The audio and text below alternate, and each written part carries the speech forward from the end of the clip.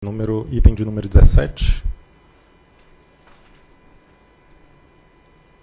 Processo 48.500.00.3215.2015. Proposta de abertura de audiência pública com vistas a colher subsídios e informações adicionais para emissão de resolução normativa visando a regulamentação dos procedimentos necessários ao cumprimento da medida provisória número 679 de 2015. Relator diretor André Peptoni.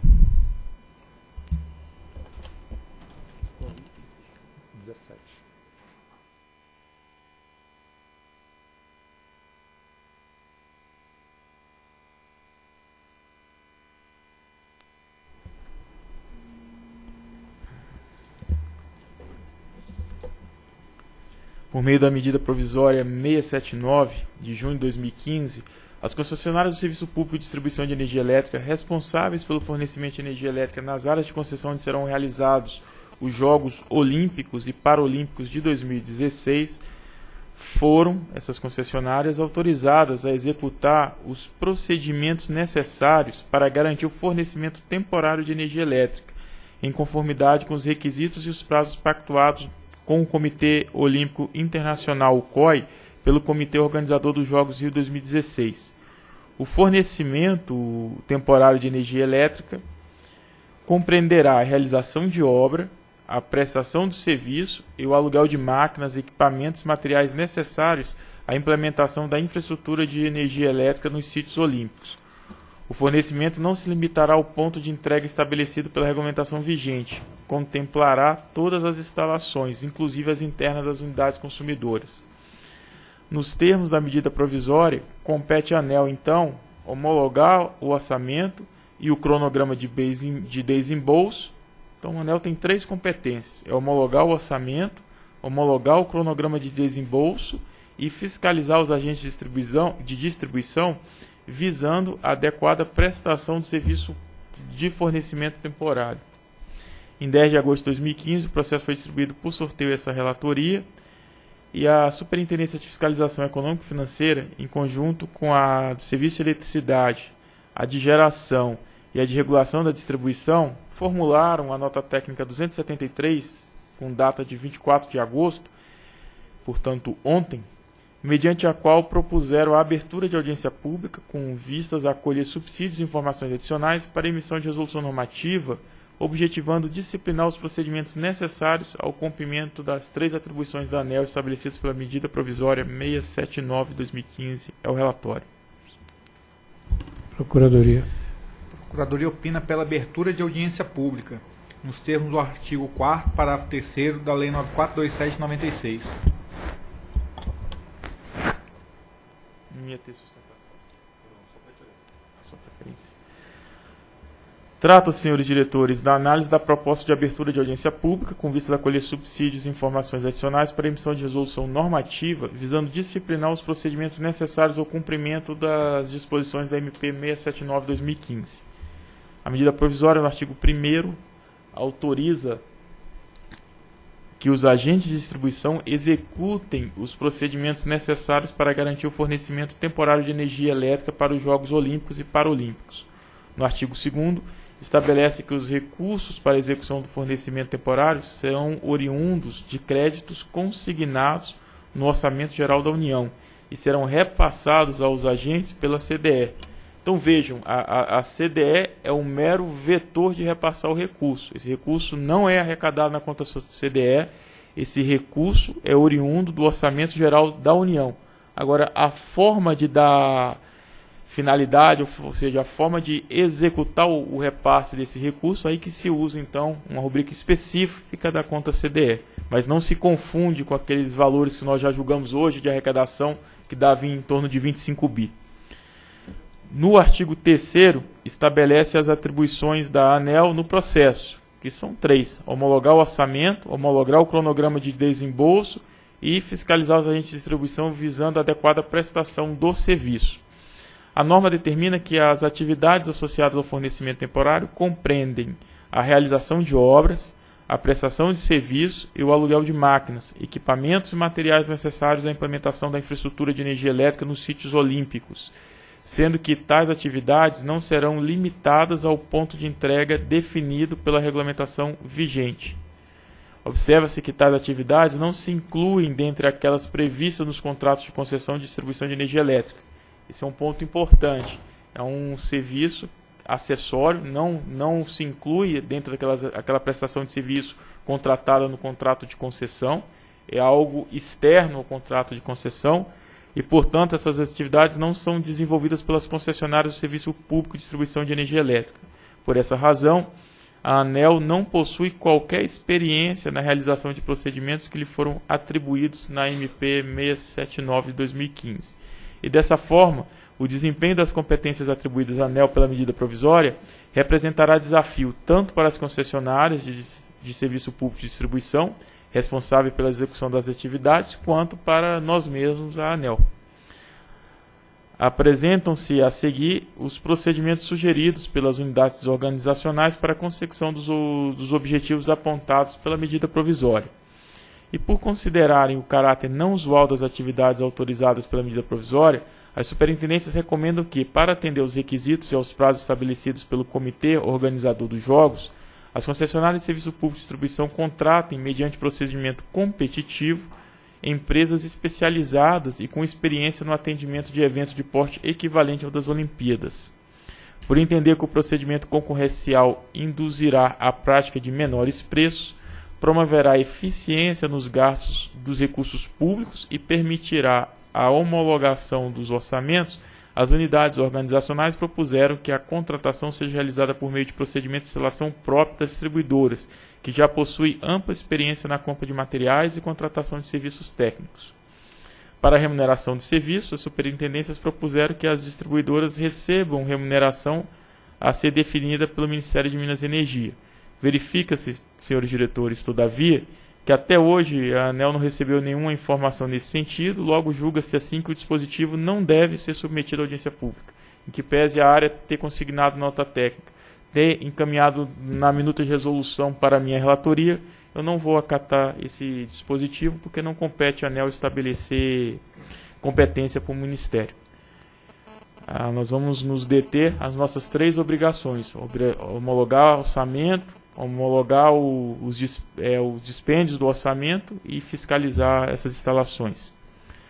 As unidades organizacionais recomendaram que as distribuidoras deverão contabilizar os custos incorridos com o fornecimento temporário de energia em ordem de serviço específica, bem como encaminhar mensalmente para a ANEL relatório do avanço físico e financeiro das atividades executadas e manter a documentação comprobatória das despesas incorridas disponíveis para fiscalização. Recomendaram ainda que as distribuidoras encaminharam para, encaminhem para a ANEL o plano de operação e manutenção das instalações e fornecimento temporário, como forma de garantir o adequado atendimento ao sítio olímpico. E quanto à competência da ANEL, as superintendências sugeriram que a homologação dos orçamentos seja baseada na análise da metodologia de seleção, bem como nos contratos assinados entre as distribuidoras e as empresas prestadoras de serviço. Para tanto, recomendaram que os agentes de distribuição forneçam ao ANEL todas as informações necessárias, tais como a descrição das atividades a serem realizadas, compreendendo obras, serviços, máquinas e equipamentos materiais necessários, o relatório do procedimento de seleção utilizado, contendo as propostas recebidas e a metodologia utilizada para a escolha da vencedora, o contrato assinado entre o agente de distribuição e o vencedor da licitação e também a previsão de desembolso de recursos da CDE para o agente de distribuição em consonância com o cronograma físico-financeiro de realização das atividades. Aqui eu vou ajustar a redação desse item D, porque é a previsão de desembolsos dos recursos que vão ser recebidos por meio da CDE, que, que sugere, pode sugerir uma outra leitura. Sobressai que, após a homologação do orçamento, a ANEL deverá cientificar o MME, que tomará então as providências necessárias para a disponibilização do recurso, aí sim, via CDE. As superintendências propõem que as distribuidoras apresentem relatórios mensais detalhando o avanço físico e financeiro das atividades. Não tinha como ser diferente, essas atividades devem ser executadas em quatro meses. Então teremos aí quatro, cinco relatórios, com base nas quais vão ser elaboradas notas técnicas trimestrais com avaliação dos procedimentos. Essa nota técnica ela vai ser bimestral. Recomendam, recomendaram que o efetivo repasse de recursos da CDE às distribuidoras tenham como base o avanço físico-financeiro de execução das atividades e sejam autorizados por meio de despacho da SFF. Destacam-se ainda, conquanto o acompanhamento das obras será realizado preponderantemente com base nos relatórios de implantação elaborados pelas distribuidoras, poderá eventualmente ser realizada a fiscalização por amostragem em loco, visando verificar a efetiva prestação do serviço de atendimento em baixa tensão via instalações temporárias. Isso é um pouco da nossa expertise na regulamentação do serviço público concedido, ou seja, fazer amostras que, que, que valeria para o todo, na forma como a gente atua nas nossas fiscalizações oriundas das atribuições do contrato de concessão. E as superintendências aconselharam ainda que a Eletrobras mantenha em registro específico na conta CDE, isso é importante, os valores relativos aos recursos federais correspondentes ao orçamento aprovado para a implantação do fornecimento de energia temporária para os Jogos Olímpicos e Paralímpicos 2016. Ou seja, não resta dúvida que tem que ser um campo específico, né, CDE Olimpíadas, para não se confundir com os outros itens da conta. E no termo do artigo 17, parágrafo 1 Resolução Normativa 273-2007, as superintendências justificaram a necessidade de redução do prazo de contribuição da audiência pública para no mínimo 10 dias, haja vista a necessidade de simultaneamente propiciar às unidades organizacionais tempo suficiente para o exame das contribuições eventualmente apresentadas e ainda assim possibilitar a deliberação definitiva no processo mais rápido possível, já vista a urgente necessidade de contratação do serviço de fornecimento temporário de energia elétrica. E por considerar que a proposta apresentada é razoável e atende aos requisitos considerados necessários ao adequado desempenho das competências atribuídas à ANEL pela medida provisória, essa relatoria julga conveniente e oportuno submetê-lo, então, com pequenas alterações de redação, à audiência pública. A, partir de tais argumentos do que consta no processo 48.500.003215.2015-62, voto pela abertura de audiência pública de 26 de agosto a 4 de setembro, portanto 10 dias. Como nesse processo a gente não tem que desenvolver metodologia que é um, um, complicador. Acho que a gente consegue em 10 dias, até pelo universo de agentes afetados. Hoje, praticamente, temos um, né, que, é a, que é a Light, que seria o destinatário desse regulamento. Então, 10 dias para que essa empresa possa a, avaliar as questões e ajudar a aprimorar o, o regulamento. É o voto. Em discussão. Bem, aqui estamos abrindo audiência, mas eu acho que aqui vale a pena fazer alguns registros. O primeiro, como salientou o diretor relator, é, efetivamente essa não é uma competência originária, não temos a tal experiência e nem desejamos ter, porque isso aqui de fato não é propriamente uma competência própria do órgão regulador, eu diria nem da concessionária Light, porque aqui, como disse o André, é um serviço atípico a atividade dela como concessionária de serviço público, é uma, uh, um conjunto de instalações interna à unidade consumidora. Então, é um serviço próprio de consultoria, de prestação de serviço. Mas como a lei, no caso a medida provisória, atribuiu tanto à Light como à ANEL essas competências, claro, não nos cabe outra alternativa senão fazer o nosso melhor, que é o que nós estamos tentando fazer. Tentando fazer. Mas a, uma coisa que o André também comentou no seu voto, eu gostaria de enfatizar, pelo menos no meu ponto de vista, definitivamente não é competência da ANEL, entendemos que não devemos fazer hipótese nenhuma, é definir o nível de remuneração para esse serviço. Isso não é competência de órgão regulador. Então, isso de fato tem que ser uma, uma, uma definição que deve vir do governo federal, que é quem está demandando o serviço. Se é Ministério de Minas e Energia ou alguma outra instituição, alguma autoridade, aí eu não sei dizer quem é, mas que não será ANEL, no meu modo de ver, tem que ficar claro, porque também entendo que, do ponto de vista da Light, é muito difícil ela aprovar essas, essas responsabilidades nos seus diversos é, suas diversas instâncias né, de governança sem ter isso definido. É, é, um, é um, realmente é um grande desafio. Em Romeu, me permita só uma parte Conforme uhum. você diz, não é competência da ANEL definir e muito menos apontar quem deve definir. Isso. Então... Não, perfeito.